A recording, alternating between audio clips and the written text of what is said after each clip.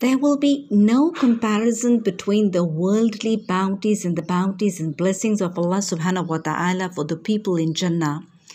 As we learn from the words of Prophet ﷺ that a small place equal to an area of a whip in paradise, it'll be better than the whole of the world and whatever it is in it. And then, similarly, Prophet has also explained that a small area in the paradise equal to a bow is better than everything on which the sun rises and sets.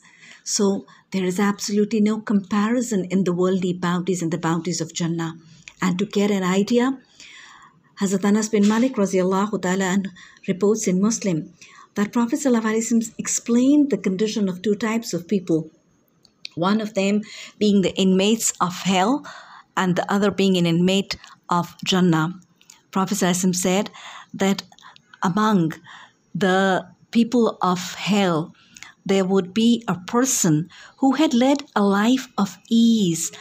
And he he was in this world blessed by plenty of blessings. And he hardly had been deprived of the blessings of Allah and when he would be made to dip in the first pond of fire on the day of resurrection, and it would be said to him, O son of Adam, did you find any comfort?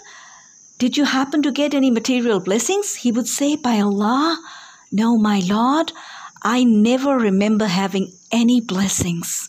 So, this it is. Remember, this is the importance of these these things we we simply die for in this worldly life.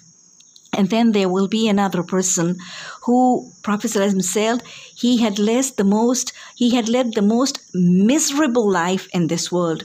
And he was one of the most deprived persons in this world. And he hardly was blessed with any blessings in this world.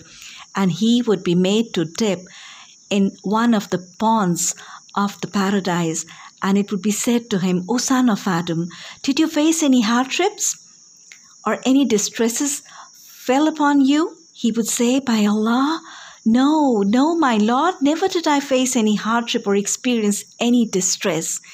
So, this is it. This is the comparison of the blessings and bounties of this worldly life as compared to the blessings and bounties of Jannah. And this is the comparison of the hardships and the distresses and the tensions and the anxieties and the worries and the hardships of this life as compared to the difficulties and all the punishments of the hellfire. اللهم أجرنا من النار. اللهم أجرنا من النار. اللهم أجرنا من النار.